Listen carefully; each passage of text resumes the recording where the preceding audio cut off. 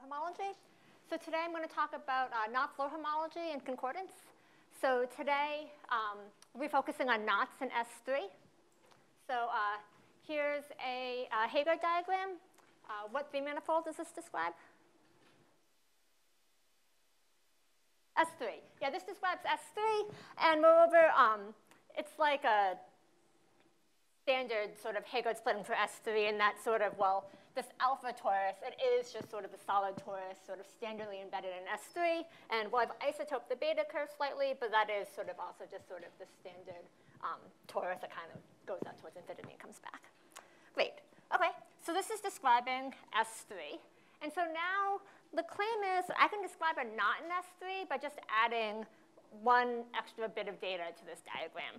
So if I just put a second base point, and I'll choose to put it here, uh, the claim is that this data, so um, a surface, a um, surface of genus G, uh, G alpha curves, G beta curves, and a pair of base points. Well, the claim is that this is going to describe a knot in the three manifold. And so how does this describe a knot? Well, the rule is um, let's connect Z to W in, so I'll do it in the surface, um, but away from the beta curves. Um, and then I'll push it slightly into the beta handle body. And then uh, let's connect W to Z. but we'll do the same thing, but with respect to the alphas. So in sigma minus alpha, and then push slightly into the alpha handle body. Okay, so let's do this in this picture. So, um, okay, so I want to connect uh, Z to W missing the beta curve. Okay, so let's see, we can go down this way. And then if I go around the back, and then if I come around this way, I've followed my instructions. Great, and now I want to connect W to Z, um, missing the alpha curve. And so this is where, so, um, we have to get the crossings, right? Because the crossing data is important in determining the knot. And so, well, the alpha handle body is like on the inside, right? So here, um, you should think about this. The first curve I drew is like slightly outside of the surface. And now what I'm drawing is slightly on the inside. Um, so this here is going to be under here,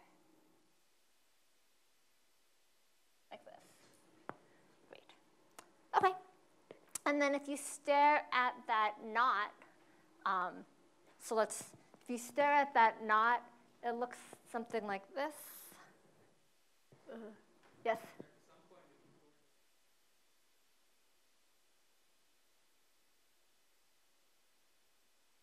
Ah, right, so since um, today, oh, great, the question was about admissibility. Basically, could I put the points anywhere? Um, and so today we're working um, with knots in S3. And admissibility only comes into play um, when you have uh, V1 uh, non-zero. So for S3, and in fact for any rational homology sphere, you don't need to worry about admissibility. Other questions? All right. So now I was in the process of drawing this knot.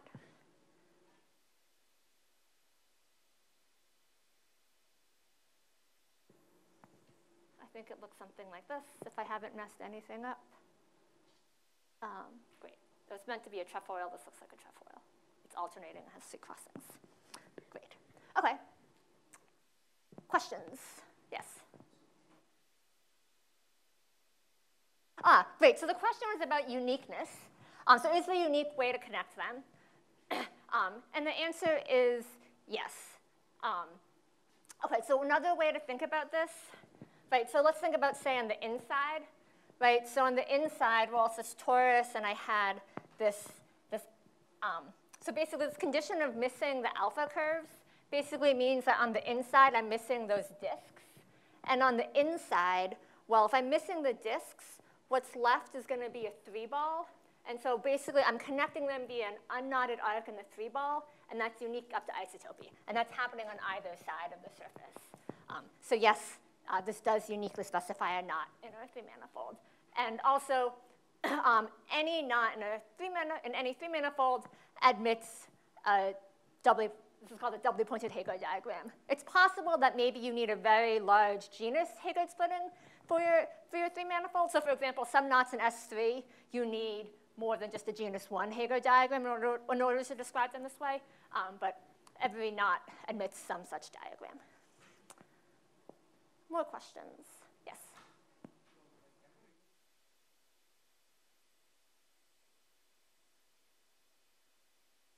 Ah, so the question was, can you relate the minimum genus of needed for such a description to the genus of a knot? Um, I, as far as I know, they're independent. So for example, any torus knot admits a genus 1 um, doubly pointed Heegaard diagram, but torus knots have arbitrarily large genus. Um, but one, you could just define a measure of complexity of a knot. Well, what's the minimum, you know, uh, genus you need for a doubly pointed Heegaard diagram? Um, and that's, you know, some interesting measure of complexity of a knot. Other questions? Great. Okay, so now, now we're going to play the same game that we played before. Great, so we're going to build a chain complex out of this. So now I'm going to tell you about the knot Floer complex. Great, okay, and you basically do the same thing. So it's going to be a chain complex. Well, you sort of do the same thing in the sense that the generators are still going to be intersection points between this alpha torus and this beta torus in SimG. Um, okay, but now, okay, so remember before we were working over the polynomial ring f adjoin u, and the variable u counted how many times we crossed our base point w. Well, now we have two base points, so one way to deal with that is to just have two variables, one that counts the base point w and one that counts the base point z. So um, work over f adjoin uv. And then the differential is going to look exactly the same, except for this extra um, bit about the second base point and the second variable. So usual. So counting points in some zero-dimensional moduli space. And now U counts um, how many times you cross the W base point. V counts how many times you cross the Z base point. So, so the point is you can analogously define um, a subspace of SimG using the base point Z instead of the base point W, and that's what this is counting. Um, so this is what the differential counts. Okay. So let's look at an example. Um, so let's look at that example, which I'll redraw over here without the knot.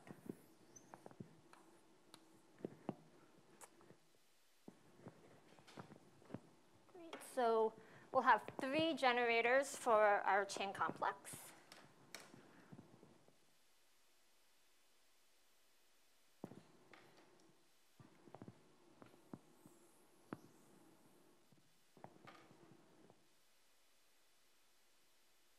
Great, so I'll call this um, A, B, C. Great. All right. Boundary of A.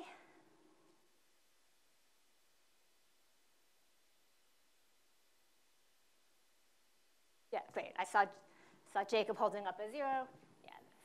Um, and in fact, we, this, we did an example like this on the first day where we just didn't have the base point here. So it's actually going to be the exact same calculation, but now the one disk that crosses the base point now is to get counted with a V. So if you remember well, right, so from B, there's this disk here. So that's going to kick out a UA.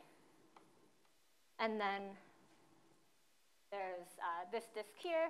And so now it's crossing Z, so Z gets counted with a V. So that's going to kick out a VC. And the boundary of C is 0.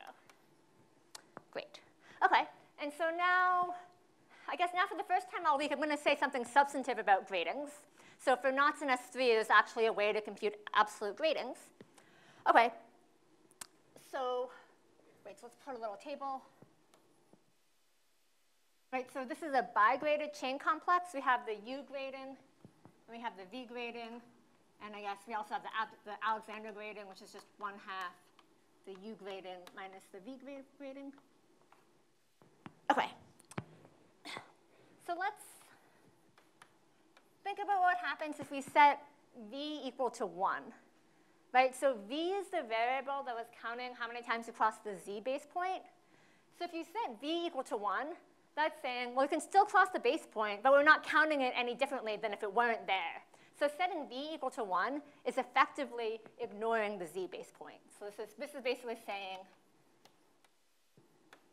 ignore z. Okay, well, z was just what was, if we ignore z, right, then this is just a pointed Heegaard diagram for S3. So we bet, so in particular, if we set v equal to 0, we better get out something whose homology is giving us HF minus of S3. And in particular, I, I declared for you the, the absolute grading on HF minus of S3. I declared that the element 1 in there was in grading 0. Okay, so if you set uh, V equal to 1, this should give you something that's homotopy equivalent to CF minus of S3. Um, so if I set V equal to 1, then you can check that um, Wait, so this is going to give us f adjoin u. And OK, so I guess it's an exercise for you to check that if you set v equal to 0, this homology is going to be generated by A.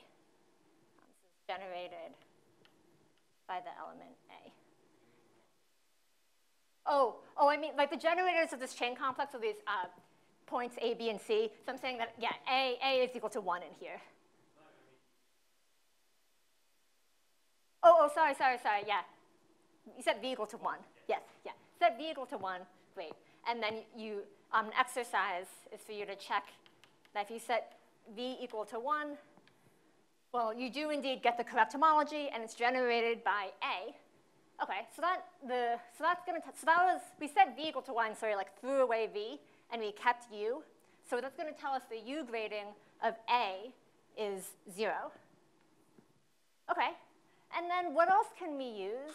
Well, um, this is a graded chain complex, right? So, so when we set v equal to 1, right, then this is telling us that, well, the boundary of b is ua plus c. So this tells us, since this is graded, this tells us that ua and c have to be in the same grading. And remember, we declared that the u grading of u is minus 2. Um, so what is, what is the U grading of C going to be?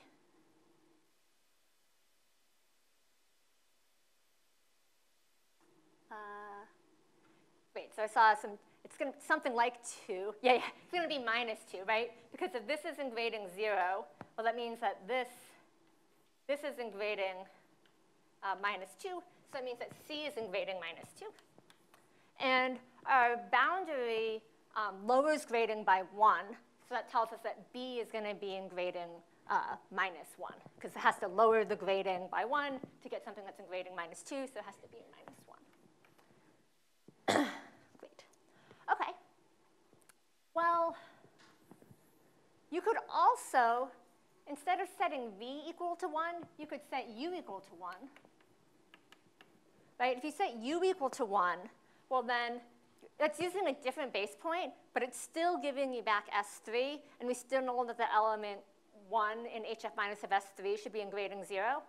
So, um, right, so then it's an exercise. Uh, so compute the gradings, analogously to how we did here, but just instead of setting V equal to 1, set U equal to 1. I'll tell you the answer so you can check your work. Great. And then, well, you can also compute the Alexander grading. So this is going to be 1, 0, minus 1. Okay. And so this lines up with the, with the gradings that I put up on the board on Monday. So that's how you can determine those. Great. And then, well, right, if you set uh, u and v equal to 0, this is what gives you HFK hat. and this is the um, invariant that categorifies the Alexander polynomial. Questions? Yeah.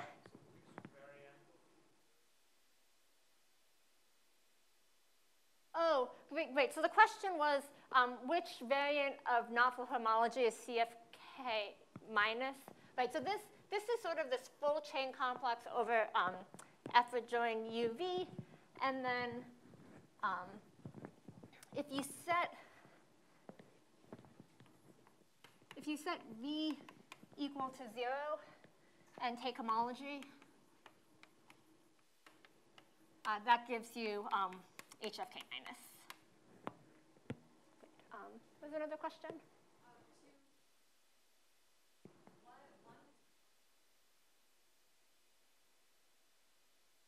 Oh, yeah, so the question was why is it hard to get absolute gradings? And um, for, the, uh, for knots in S3, um, hopefully I convinced you it's, it's not too hard. Right? You just do this process. You set V equal to 1, compute homology, find the generator for HF minus of S3, put that in grading 0. And then um, what, I, what I implicitly claimed without any justification is that the differential is sort of can help you determine the gradings of everything else. Um, you could have the issue that maybe not all of your generators are connected by differentials.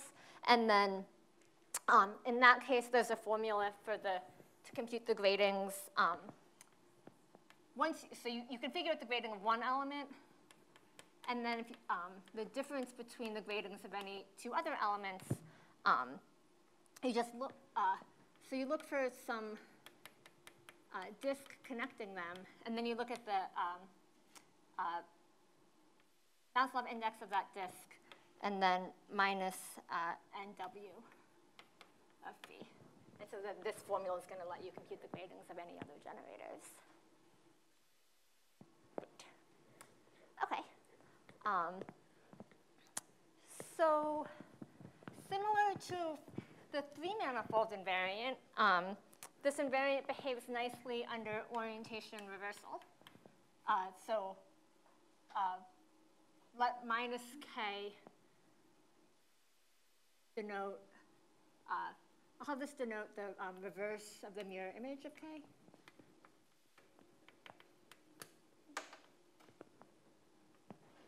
Okay, so reverse means change the string orientation, and uh, mirror means change any overcrossing to an undercrossing, and vice versa. And then, while the knot Floer complex of minus k is uh, the dual of the knot Floer complex of K. So you just look at homomorphisms over a ground ring.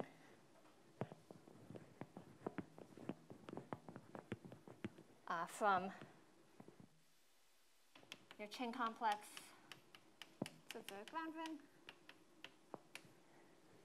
And then um, it also satisfies the Künneth formula. So the knot Floer complex of a connected sum of two knots um, is uh, chain homotopy equivalent to the tensor product of the chain complexes of the respective uh, components.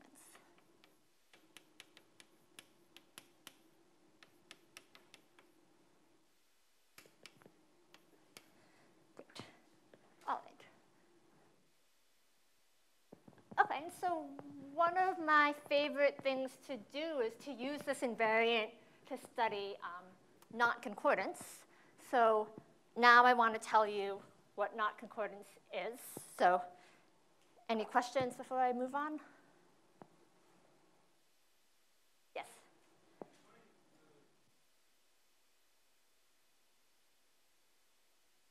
Yes. Oh, yeah, if you don't do that, you get a chain comp. You know, so the question was, to get HFK minus, we set V equal to zero and take homology. What if you don't do that? Yeah, then you get a chain complex over the polynomial ring F adjoin UV, whose chain homotopy type is an invariant of the isotopy class if you're not. Um, that's like, it's like, if you don't set V equal to zero, you have, you know, what presumably is a stronger invariant because it has sort of more algebraic structure. Um, F adjoin UV is not a PID, so it's like, finitely generated modules over that are like not classified. Um, great. All right. so let me tell you about concordance. So Q naughts, K naught, and K1 in S3 are uh, concordant, which I'll denote with a twiddle. So I'm denoting it like this because this is going to turn out to be an equivalent solution. Um, so if they co-bound a smoothly embedded annulus,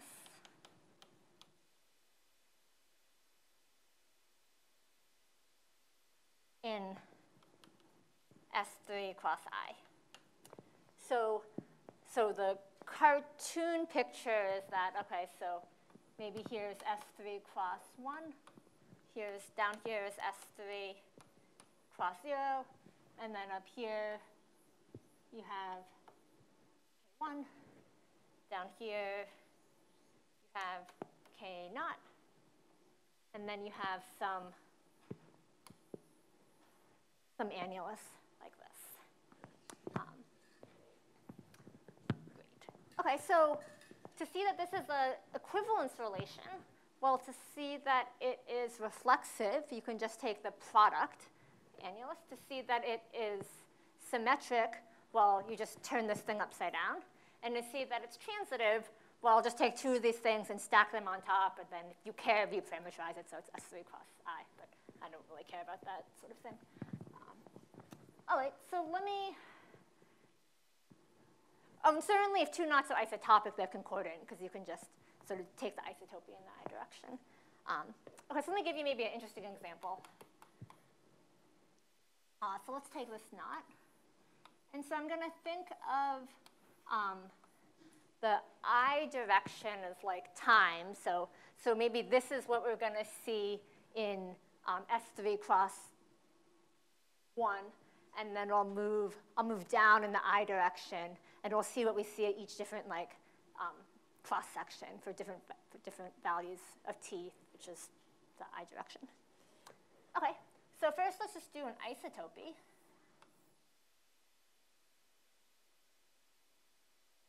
Right, and so if I just do an isotopy, well, that's still just going to be sweeping out a cylinder in S3 cross I. So I started off, so here's a sort of like what the, what this is just sort of me telling me abstractly what the surface looks like. So I've just done an isotopy. So um, the surface just sort of looks like a cylinder so far. And now, well, let's bring these two pieces together.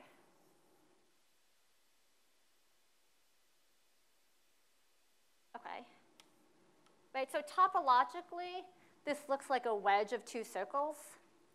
Um, so here, well, what I'll, what I'll see here, something like this. Great. Okay, and now, um, next, well, let's have these like split apart, but in the opposite direction that they came together in. Um,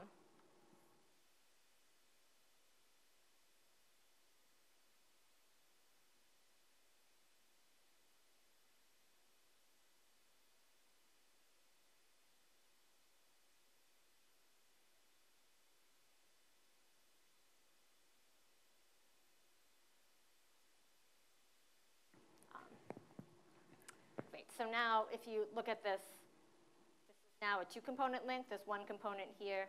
There's another component here. And so in terms of the surface, well, now, it's, now we see this.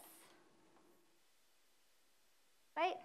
And now if you stare at this link that I drew very small at the bottom of the board, well, this is actually the um, two-component unlink, right? So this is, a, this is the two-component unlink. Okay, so we'll, uh, since we can cap off one of the bounded components of the disk.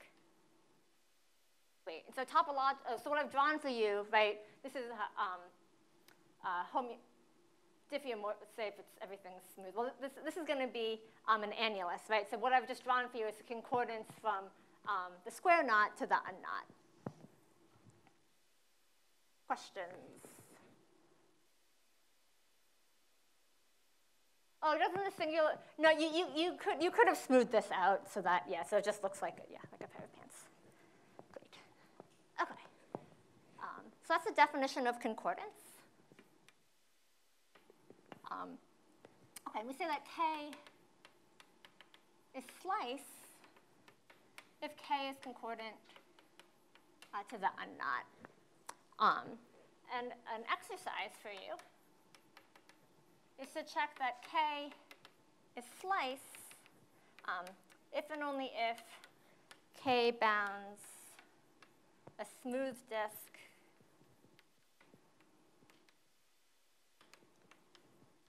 in the four ball. Um, so what do I mean by that?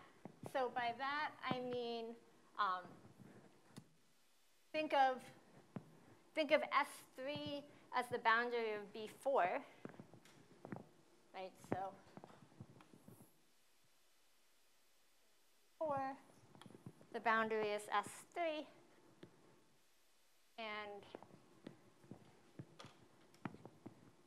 okay, I'll draw the knot K as an S0, and then K is going to bound some disk here. Great. Okay, so I'll keep this. So we have this equivalence relation. So now, well, we, we can look, we can look at knots in S3.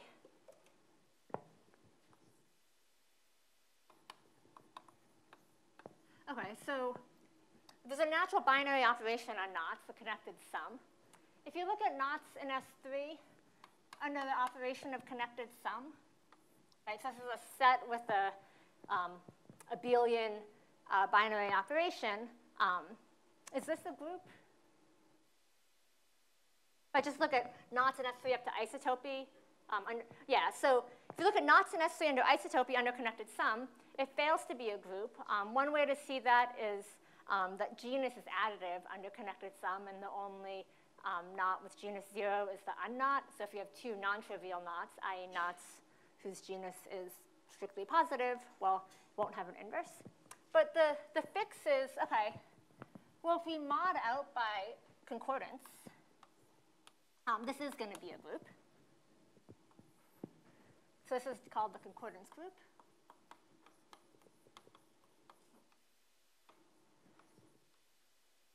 Um, great, so somehow up to concordance, everything has an inverse. So an exercise is to show that um, the inverse of k, inverse, is, okay, appropriately enough, what I've been calling minus k. So remember, minus k, well, wait, this is an abelian group, so it's a natural way to denote the um, inverse. And wait, minus k, it's the reverse of the mirror image of k. So for example, yeah, all of my knots are oriented. Um, yes?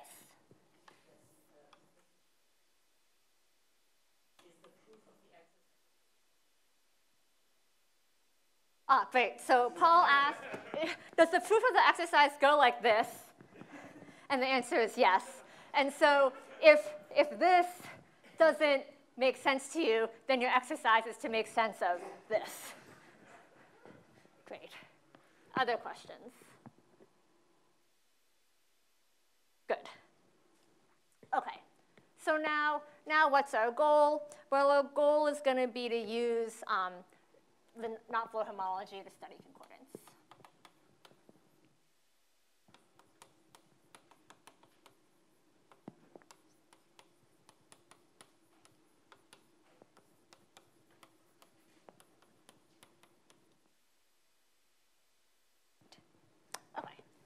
So,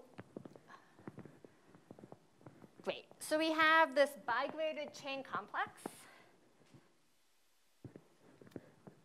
Okay, so, and so, well, just like in the, in the three manifold case, where we said nice cobordisms induce nice maps on the Hager homology of your three manifold, well, the same thing is true here.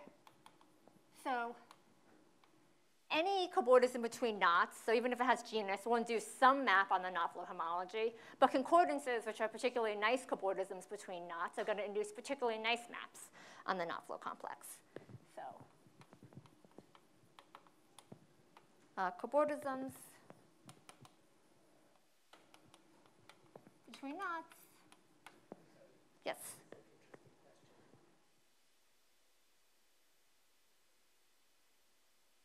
Uh, so the question is, how do you see the inverse is unique? And so, well, I guess you can check, it's unique up to concordance, right? So just say, okay, I taught intro to proofs last year, so how do you show uniqueness?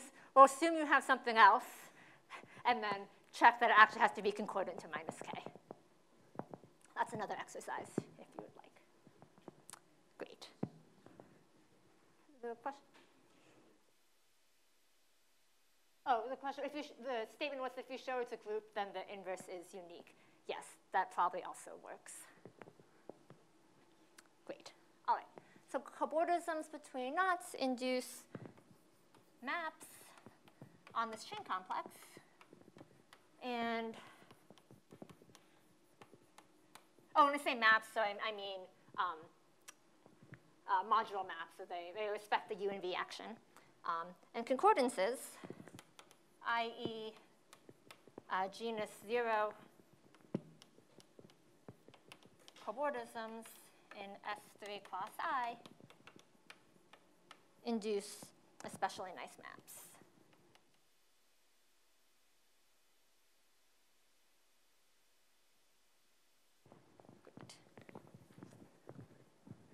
Okay, and so now I guess I should tell you what I mean by especially nice. So we have the following theorem uh, due to Ian Zemke. Okay, so if K naught is concordant to K1, uh, then there exists a um, bigrading preserving uh, F adjoin UV uh, equivariant chain map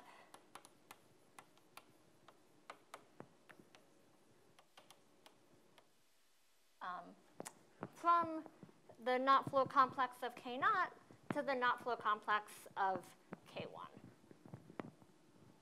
And moreover, um, it induces an isomorphism if we invert U and V.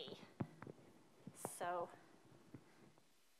we get this chain map F from the knot flow complex of K naught the knot Floer complex of K1.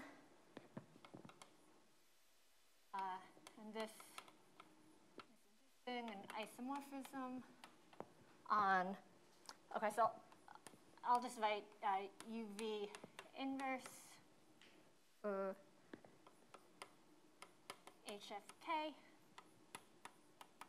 Right, so this is, um, okay, so take the homology of, well, take your chain complex and invert U and V, so tensor with F adjoin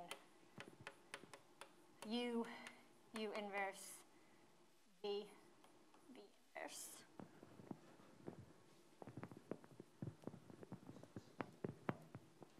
so this should look a little familiar to you from from the statement about three manifolds last lecture, right? So you get a chain map that induces an isomorphism once you've inverted all your variables in sight.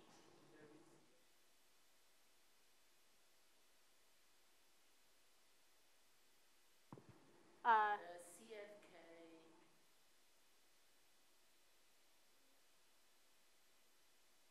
oh, yes, thanks. Yeah, I just wrote complete Other comments, questions, corrections? Okay. Great. Um, oh, maybe one thing to observe, right? So um, since uh, concordance is symmetric, right? So remark, well, if K1 is, K0 is concordant to K1, then K1 is concordant to K naught. Um, so there also exists uh, G going the other way. 1 to K naught, um, inducing isomorphism on uh, this localized homology. So, so if you have a concordance, you get maps in both ways with this property. Yeah.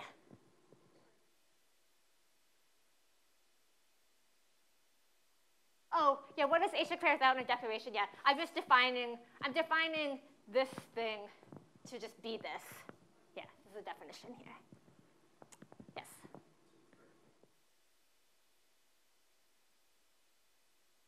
Yeah, the question was, if you compose concordances, the map's compose, and the answer is yes. Oh.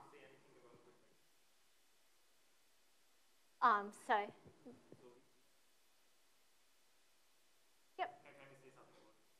Uh, the question was, we have F one way, we have G the other way. Can you say anything about the compositions? Well, just in general, you can say just whatever is implied by the statements on the board. Um, uh, if you know things like one of them is a ribbon concordance, if you know what that is, then you can say um, stronger statements about that. All right. they're in general not inverses of one another. So for example, um, uh, the unknot is concordant. Right, I drew a concordance from the un, between the unknot and the square knot earlier. Um, I didn't tell you this, but um, the unknot, the, the, the, chain complex just looks like the ground ring with trivial differential. And knot Floer homology detects the unknot, so the unknot is in fact the only knot whose chain complex just consists of the ground ring. But there's concordances between the unknot to you know, other more complicated knots. Um, so yeah, this thing, in particular, in, in general, this thing is not going to be an isomorphism uh, just on the chain complex itself. This is going to be an isomorphism on this localized thing. Great. All right. Um, okay. So this is great, and this strong statement is very useful. But as I mentioned earlier, yes, yes.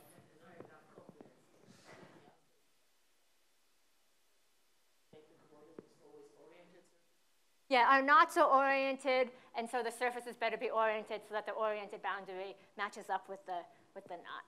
Yes. Great. Okay, so um, adjoint UV, it's not a PID, so maybe that's not great. So uh, maybe it's hard to work with. Um, okay, so uh, great. So remember, mark F of join UV, not a PID, but well, if you set one of your variables, say v equal to zero, is okay. And so, um, right, as I mentioned earlier, well, you can define this is invariant HFK minus. That's just the homology of this chain complex when you've set v equal to 0. Okay, right, so um, this, this thing has a grading. This is a z graded by um, the U grading. Okay, so in particular, well, this is, this is a finitely generated module over a PID. So we have the structure theorem that it's always going to look like um, a free part plus some torsion part. Um, this is a finitely generated graded module over a PID. So it's always going to, oh, and in fact, um, it always has exactly one one free part. Um, that's because it's a knot in S3.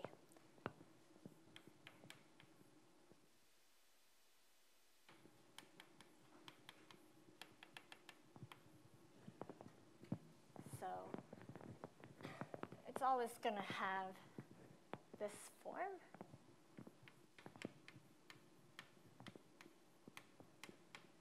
Okay.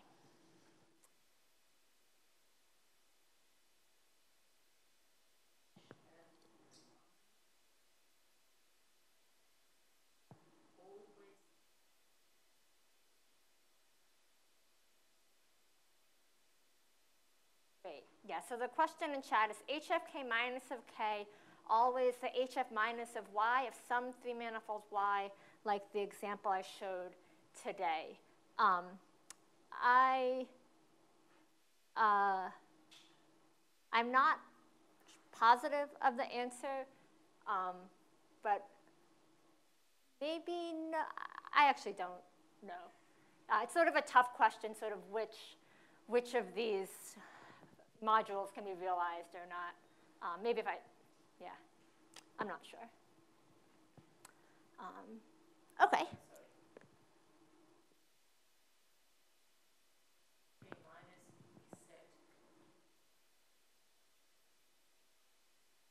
That's right, yeah. So we've set v equals, yeah, we set v, right. So remember when we set v equal to 1, that's saying, okay, well now we can cross the z base point, and it's like the z base point isn't there.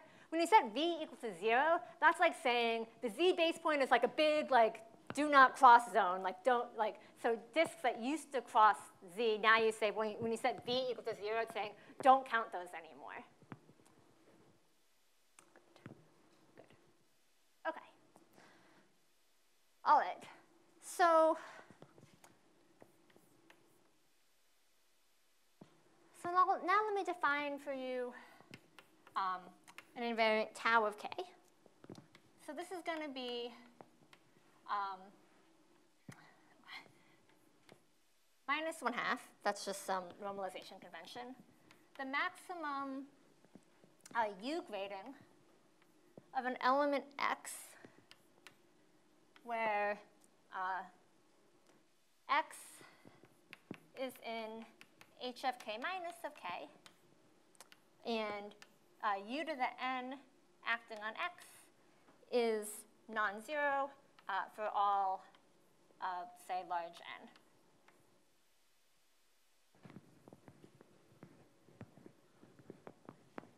Okay. And maybe, maybe if you did the exercise from last lecture where I asked you to check that D was well defined. Maybe, maybe this should look kind of familiar. Great. Um,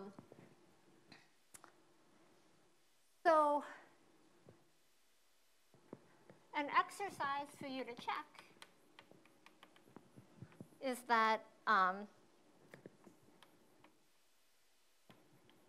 show that the grading of 1 in h of k minus of k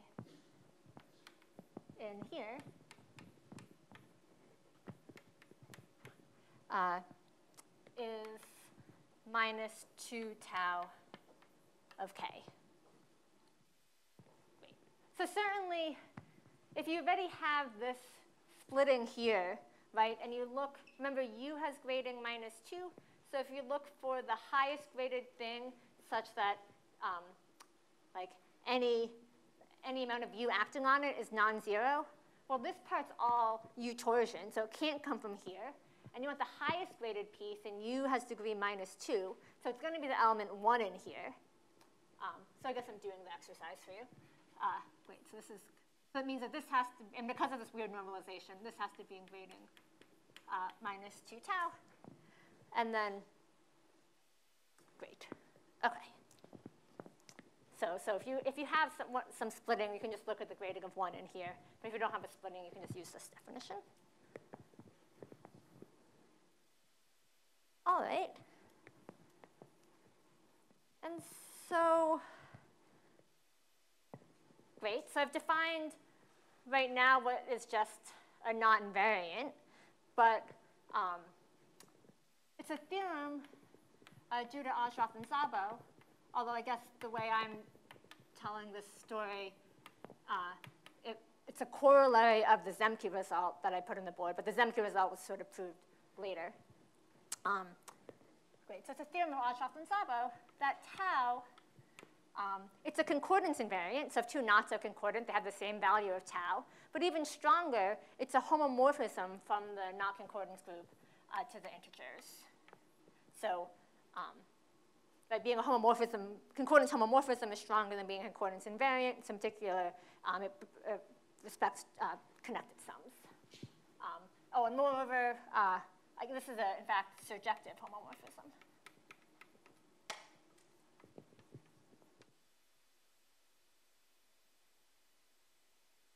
Great. Questions? Yes. Ah. Great, so the question was, is it easy to see that slice knots should get mapped to zero? Um, I guess it depends on your definition of easy, right? So you should just check that, well, um, if you, if you, from the, from the Zemke result, um, it, it's an exercise to check that indeed if a knot's concordant to the unknot, tau better be zero. Other questions? Great, okay, so we have this example of the trefoil on the board, so let's compute tau of the trefoil. Okay, so great. What, what, was, what did I say to do? To compute tau, I said set uh, v equal to 0. Great, so we're going to set, uh, great, so let's set v equal to 0. So this part goes away. All right, so then HFK minus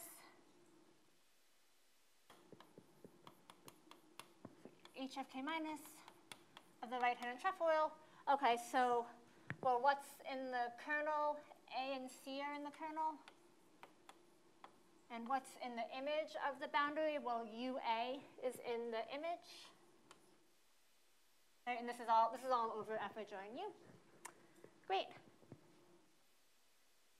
Okay. So, great. Well, the C, the, the C generates like a, a free summand, right? Because there's no C appearing down here. Uh, I guess I'll, uh. Right, this is generated by C. And then well, we're going to get an F adjoin U mod U, and this is generated by A. But I guess the, the th part that we care about is we care about the grading of this, right? And we care about the U grading of this part. And so C was in U grading minus 2. So this, the element 1 in here is in grading minus 2. I'll make that larger. Great. And so by the normalization over there, this tells us um, that tau of the right-handed trefoil is 1. Questions about that? No questions. Great. Okay, so, so let's see how, how the Zemke result implies that tau is a concordance invariant. So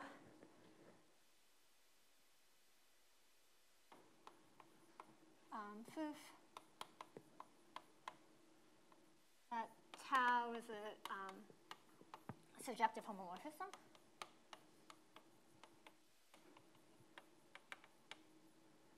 So I guess the first step is that, so first you want to prove that um, it's a concordance invariant.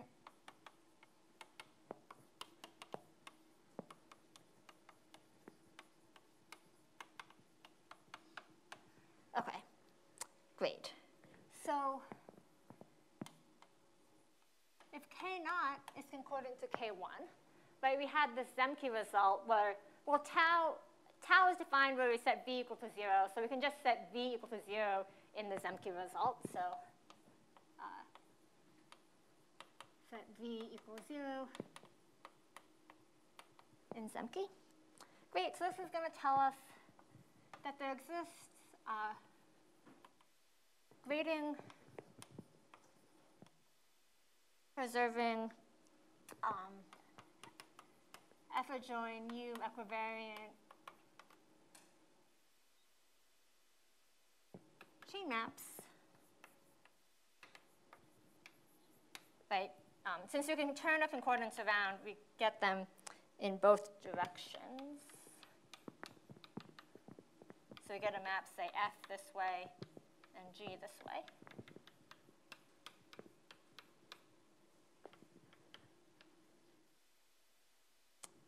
And these induce isomorphisms um, once we've inverted U.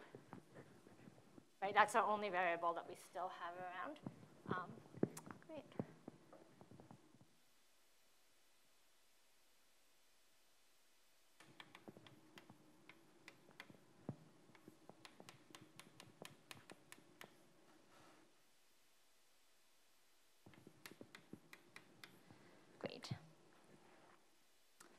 Okay. So, well, let's think about what happens if we have, wait, so we know that HFK minus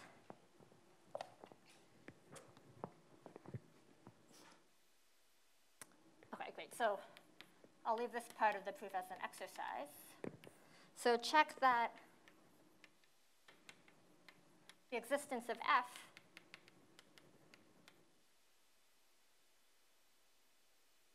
implies uh, that tau of k naught is uh, less than or equal to tau of k1. So the idea is, well, um, these are U equivariant maps.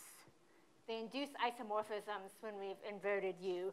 So the key is to think about what has to happen on the free part of HFK minus. Right? Basically, the sketch of this is that the free part has to map, the free part of HFK minus of this side has to map non-trivially to the free part here in a U equivariant way, and that's going to imply this inequality. Great. Okay, but we also have a map the other way, right, right, and uh, existence of G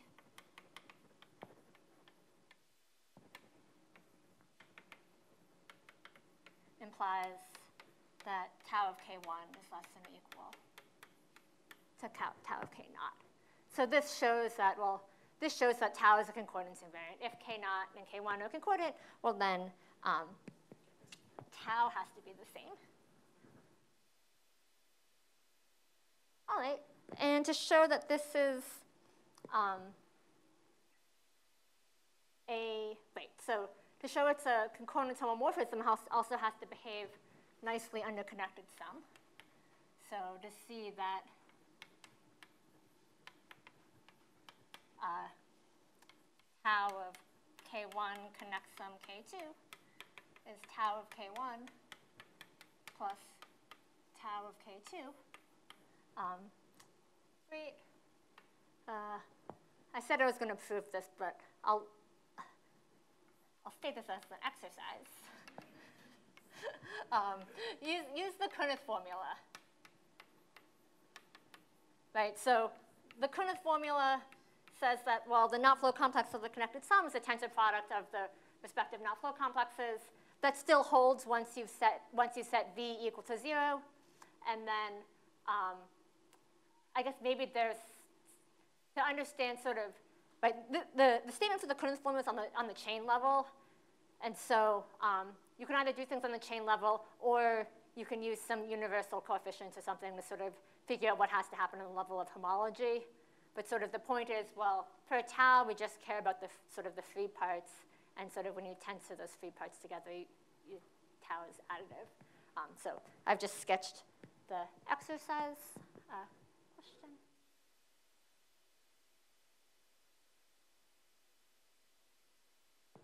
Oh, yeah, yeah. So I, you get chain maps. They descend to the homology. That's right. Yeah, I guess the statement about the Künneth formula, the Künneth formula is stated on the chain level, and then that, um, uh, but um, right, since we're working over a polynomial ring, the um, tensor product, the homology of the tensor product isn't going to necessarily agree with the tensor product of the homologies.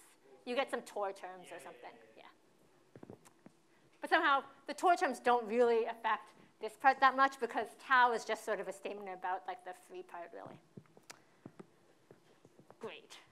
All right, and then um, to show, right, so we want to show this the surjective homomorphism. Well, okay, to show that tau is surjective, well, we already basically did that, right? Because we computed that tau of the trefoil is 1, and we know that it's additive under connected sum. So, well, tau of uh, n times the right-handed trefoil is equal to n uh, for any integer n. Great. Okay, and so you can already see that, well, by setting v equal to 0, you know, we, we throw out some information, but we still get this really great concordance invariant. And so um, one thing that I spend a lot of time researching is, well, if you keep v, if you don't, like, if you don't set v equal to 0, you can actually get lots of, lots more concordance homomorphisms. In fact, um, in work with uh, Irving Dai, Matt Stoffregen, and Linh Truong, we showed that, well, if you keep V and you do some algebra stuff, you can in fact get um, infinitely many more um, homomorphisms, surjective homomorphisms to the integers. And in fact, they're linearly independent. Um, so if you're, if you're curious about that, I'd be happy to um, talk more about that. Um, this is what I wanted to tell you about.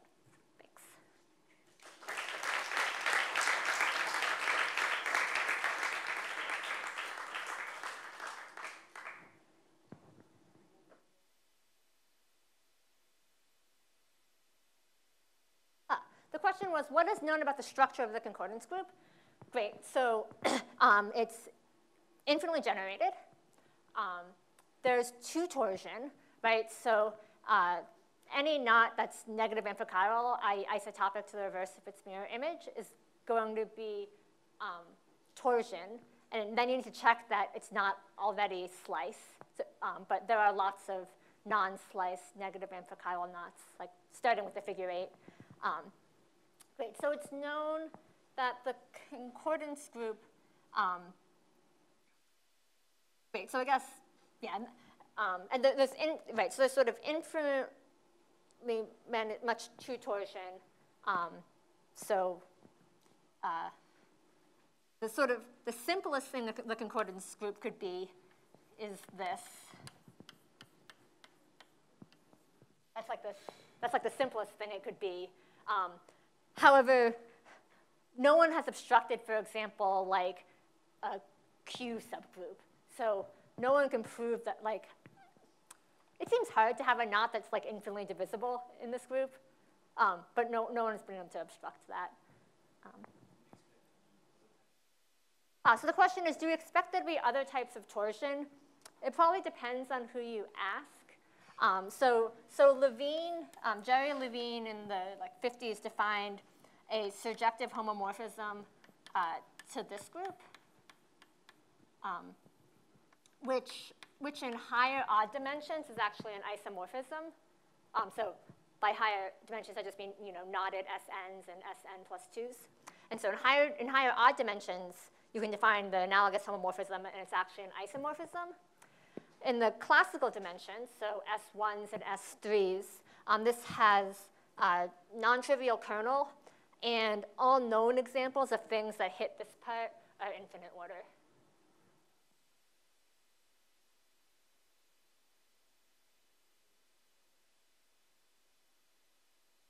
Oh, the question is, how do we know that HFK minus has rank 1? Um, and that's an exercise from the fact that this is a knot in S3. Um, So if you have a knot, you can do this for null homologous knots in any three manifold, in which case it might not be the case that HFK minus has rank 1.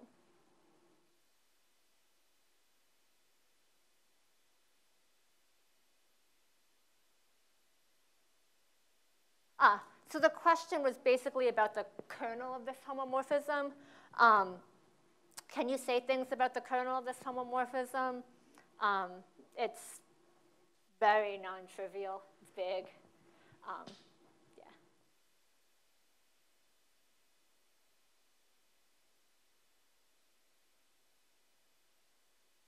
Ah, the question is, do we have a more geometrical description of this tau invariant?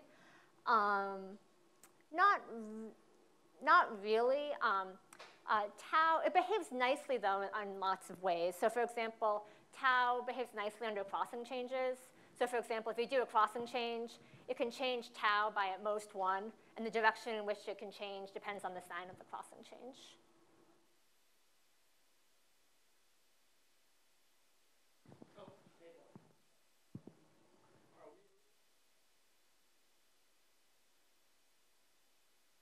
Oh, are we able to find a basis for the free part of the knot concordance group?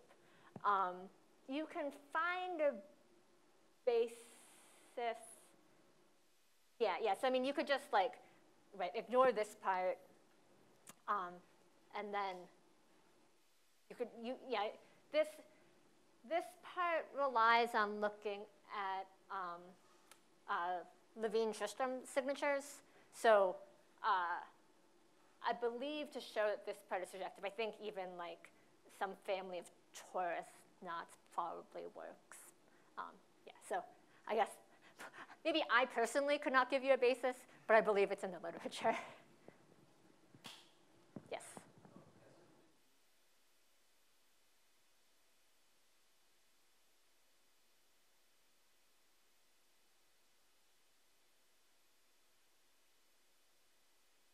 Um, the question was, could a period, periodic knot with, say, periodicity theory be slice? Um, I haven't thought about periodic knots. Maybe, anyone in the audience